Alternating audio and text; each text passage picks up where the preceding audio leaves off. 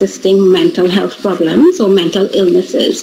So we find that um, at least 90% of suicide, completed suicides, were people who have had, who have a chronic illness, chronic mental illness or depression especially. Also, people who experience some sort of trauma are also higher at higher risk for suicide and persons who have experience with suicide. So persons who've had a family member that died by suicide or attempted suicide or even somebody in their community. So we're speaking sort of culturally. These are people who would be more likely at risk for suicide.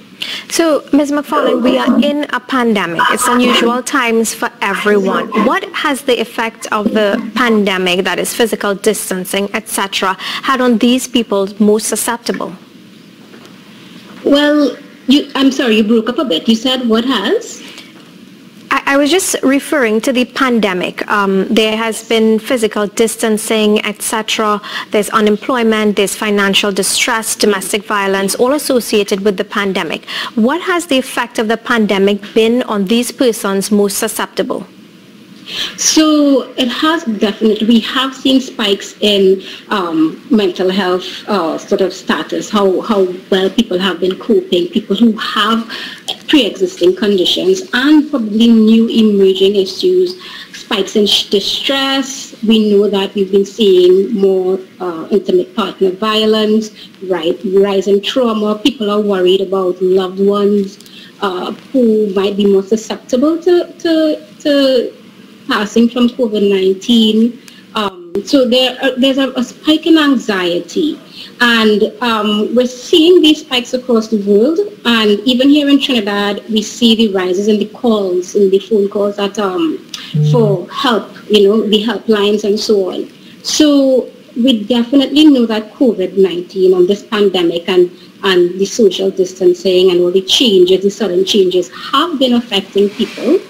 And um, there's a lot of research that's being done now to see specifically what that effect has been and why and on whom, which demographics. And so we're really looking forward to see for us in particular in Trinidad and Tobago what the statistics look like. Well, I was just about to ask you if there are any trends that we should be looking towards, um, for instance, age, any particular groups in particular? For suicide? Mm-hmm. Yes. Well, um, Suicides are completed, we see in Trinidad and Tobago, more by persons who abuse alcohol and um, other substances. Also, three to one ratio between men and women. Men are more likely to complete suicides. One theory is that they use more lethal means, and so they, they, they complete their suicides when they set out to do it.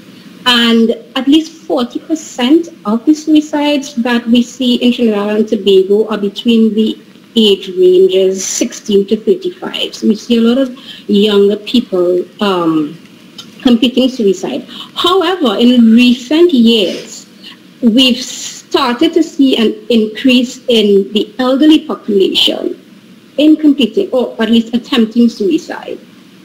Those would be some of the trends. What, what could be, I mean, the elderly population, that is a point to note. What could be some of the reasons that these persons would attempt? Loneliness, life changes, um, family members moving away, friends passing away. Uh, you know, retirement is also a time in a person's life where they do a lot of reflection and and and feel like, especially for people whose careers have been sort of part of their, their identity. You know, they have to start, sort of reform that identity. So elderly people experience all sorts of different reasons to have mental health problems, losing a spouse even. What are some of the warning signs we can look out for? Okay, so you definitely can look at a change in mood. So if a person suddenly seems very um, they withdraw a lot. They seem very sad. They are sleeping a lot or not in, not much. They're very anxious. Mm-hmm. These are some signs that something is happening psychologically. Now, further to that, if a person is really depressed, let's say what we know depression to look like, and then suddenly their mood um, elevates, then sometimes we can wonder, okay, what has elevated the mood? So we look at some of the emotional um, aspects of it, but also behaviorally.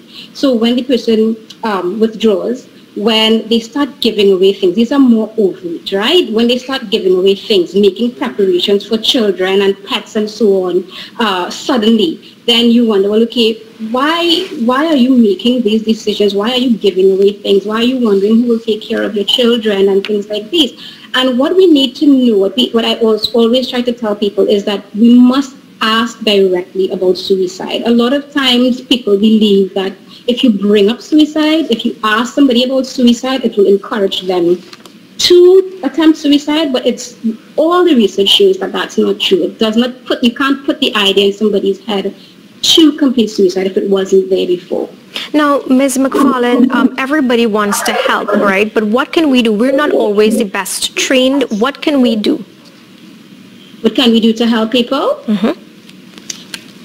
Yes, okay, yes. Um, well, first of all, when you notice something has changed about somebody, we first look at, let's look at mental health first of all. So as I said, 90% of suicides are associated by some mental health disorder, some mental illness or some mental health problem, some high stress or something. So first of all, you notice changes in somebody, check in on them, ask them how they've been feeling, what's been happening. As this person begins to talk to you and sort of probably explains to you what they've been experiencing, ask directly, you know, sometimes when people experience all of these things, you know, and I can imagine it's really tough for you.